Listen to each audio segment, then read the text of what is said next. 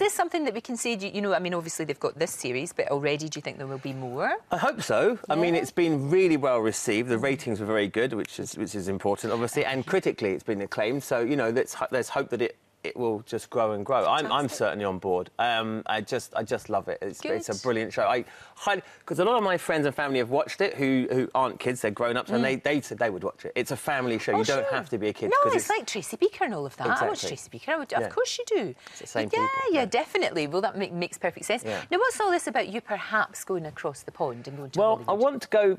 I want to. Um, if my visa comes through, which hopefully it will, I will go and move to, to Los Angeles. Because I'm well. You get up on a morning like this morning when it's chucking it down, it's, It's windy, really it's blustery, and you think, well, why know. wouldn't I? Um, I just think I've got to give it a go, really. And a lot of people do it, but I've put in a lot of work, as in getting the visa and ba- background Right. information and stuff. So um, I would hope to work there. But I would come back to, to shoot Millie. Yes. Well, that's the thing. That's To what you can film do Millie. now. That sounded awful. No, that sounded really I bad. her. You don't want to be doing that. I would that. not do that, That no. would be a bad thing. a that would be very girl. bad, of course. Okay. But there is, you know, especially the only thing is, you do realise if you go over there, you have to be a baddie. Because if you're British, Yeah, you have to be a baddie. But I'm really enjoying being Mike, who's a buffoon and really nice and wouldn't say boo to a goose. Sorry if you're British and it's in America. Right, you have okay. to be the bad I'll be a person. baddie in America and I'll be And a good goodie guy over here. Exactly. Happy days. So that would work out really Yeah. fine and it would be really good.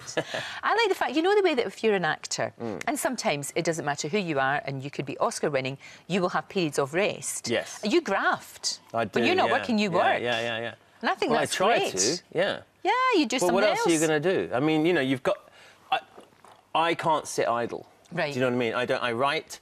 I help my friend who's got a gardening company. I'll go and Exactly, you were doing manual Yeah, labour. yeah, yeah, But you know what? You got. But they were mean to me. People were mean to you I didn't. I never understood that. I, I still don't understood it. understand that No. because in this culture where everyone's accused of being lazy and the rest of it. And my mate, he's got this guy. He said, "Do you want to?" Because I'm quite strong. I work out. So "Do you want to? I can lift." She said, "Can you help me?" Yeah. Proper grafting. Of course I can. Yeah.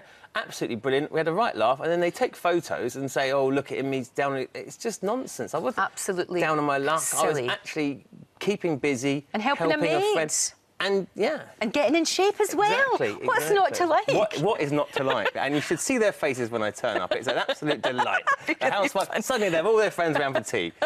Amazing. I love it. Yeah.